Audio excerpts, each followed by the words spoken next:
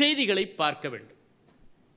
அந்த செய்திகளை பார்த்து உங்கள் நண்பர்களோடு விவாதிப்பது அவசியம். விவாதிக்கிற போதுதான் கருத்துகளுடைய அயல் மகரந்த சேர்க்கை நிகழும். சில நேரங்களில் நாம் நினைத்து கொண்டிருப்பதே சரி என்கிற எண்ணம் ஏற்படுவது உண்டு. அதிலிருந்து விடுபட்டு மற்றவர்கள் கருத்து என்ன என்பதை தெரிந்து கொள்ளுகிற போதுதான் நாம் தெளிவு பெற முடியும். ஆகவே நல்ல நண்பர்கள் போட்டித் தேர்வுக்காக தயாரிப்பவர்கள் உங்களோடு பழக்கத்தில் இருக்க வேண்டும். சில நண்பர்கள் என்னை வந்து சந்திக்கிறார்கள். நாங்கள் நான்கு பேரும் ஒரே அறையில் தங்கி படிக்கிறோம் என்று சொல்லுகிறார்கள். ஊரிலிருந்து கிளம்பி வந்திருக்கிறார்கள்.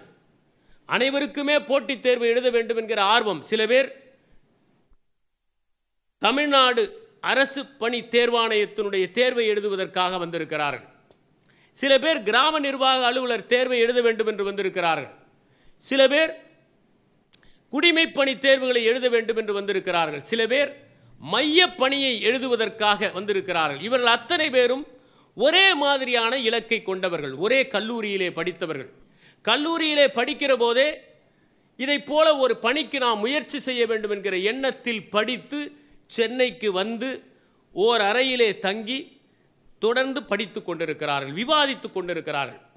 தனியாக படிப்பதை விட இதைப் போல ஒரு அமைப்பிலே சேர்ந்து நீங்கள் படிக்கிற போது கிடைக்கக்கூடிய ஒரே அனுகூலம் நீங்கள் படிப்பது மட்டும்தான் உலகம் என்று நினைத்து கொள்ளாமல் மற்றவர்கள் என்ன வாசிக்கிறார்கள் எவற்றை புரட்டுகிறார்கள் எவற்றையெல்லாம் அவர்கள் தெரிந்து வைத்திருக்கிறார்கள் என்று பேசுகிற போது உங்கள் அறிவு வளப்படும்.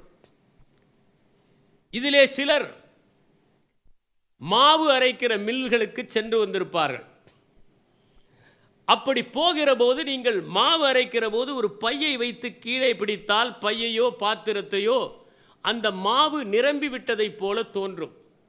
அப்படி நிரம்புகிற போது ஓர் உழுக்கு உழுக்கினால் இன்னும் கொஞ்சம் அது கொள்ளளவை எடுத்துக்கொள்ளும் அதைப் போலத்தான் நண்பர்களோடு விவாதிக்கிற போது இன்னும் பல கருத்துகள் உங்களுடைய மனத்திலே ஆழமாக பதியும் என்பதை நினைவில் வைத்துக் கொள்ளுங்கள்.